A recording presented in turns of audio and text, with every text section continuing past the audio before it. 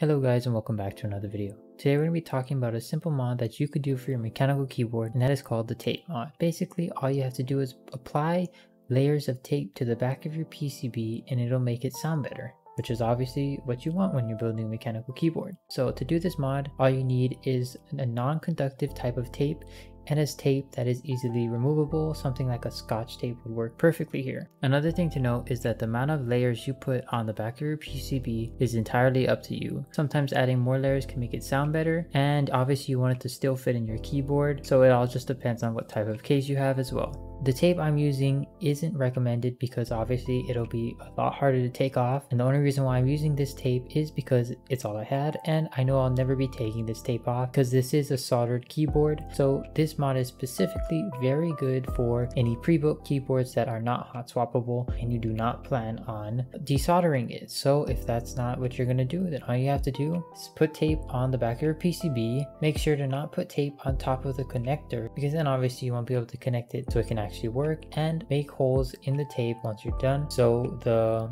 slots can screw into the actual keyboard itself and your PCB doesn't stick out or wobble. Other than that, I'll be leaving a sound comparison here so you guys can see the differences that it makes and you can decide for yourself whether or not you want to do it. Now just to bear in mind, I did also add foam to this keyboard so it does not sound as hollow as it does when it was stock. Anyways, here's the sound test.